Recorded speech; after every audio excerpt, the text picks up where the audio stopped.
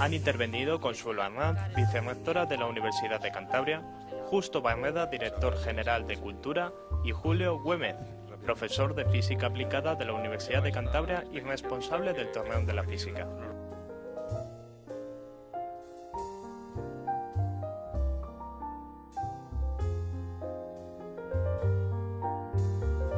Entonces la idea es montar una exposición básica con una serie de entre 20 y 30 diseños interesantes que permita mostrar muchos de los principios de la física. Entonces, el yo voy a ser el responsable de lo que, va a ser esa, esa exposición permanente. Hoy viernes 8 de octubre de 2010 se inaugura un nuevo curso del Torneo de la Física de Cartes. Esto, como digo, desde el punto de vista actual, pues puede parecer una máquina muy sencilla, pero es la primera máquina que consiguió. Imaginaos que tú tienes una mina de carbón, que tienes toneladas ingentes de carbón, y resulta que ese carbón lo único que puedes hacer es quemarlo para calentarte. Y alguien viene y te dice, no, no, si es que eso se puede utilizar para mover máquinas.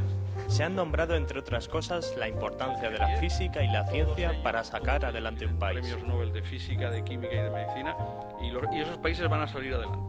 Esto se va acercando a medida que esto lo vas acercando, cada vez gira más deprisa.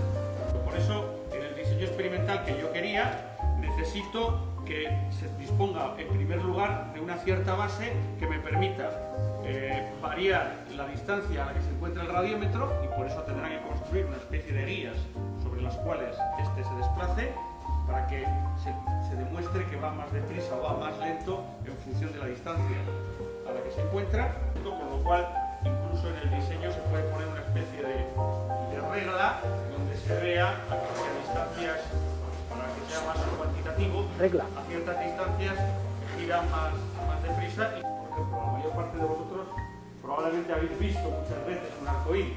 Otra cosa que en el diseño experimental que quiero que me hagan se pueda poner de manifiesto. Por eso tienen que construir una especie de, de, raíles por los cuales se pueda simultáneamente hacer experimentos con los tres radios. Más o menos uno cuando pone la mano en un coche que está pintado de negro y ha estado un rato al sol, pues en verano nota que aquello... Y de hecho se pueden alcanzar en un coche que está expuesto al sol durante tiempo suficiente que está pintado de negro, se pueden alcanzar sin dificultad temperaturas de entre 50 y 60 grados Celsius.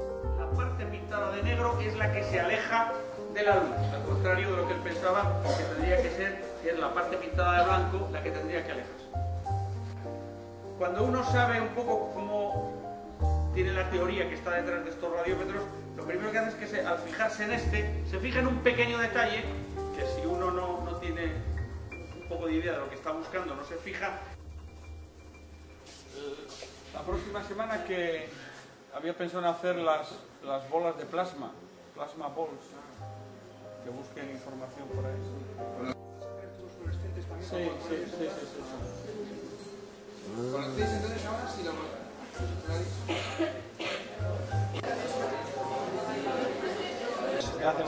Este estaría crudo, ¿no?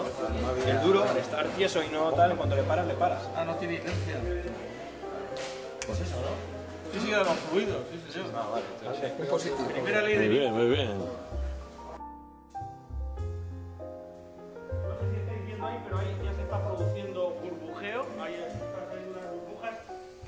El vapor que se está produciendo aquí, está expulsando el aire y el aire está saliendo por ahí. El Torreón fue concebido inicialmente para dar un, un servicio de física experimental a los institutos de... Se trata de utilizar como aula de extensión universitaria el interior de la emblemática construcción medieval del Torreón de Cartes. De acuerdo con los términos de colaboración establecida entre el Ayuntamiento de Cartes y el Aula de Ciencia de la Universidad de Cantabria, durante el curso 2010-2011, el Torneo de la Física de Cartes se abre a colegios e institutos.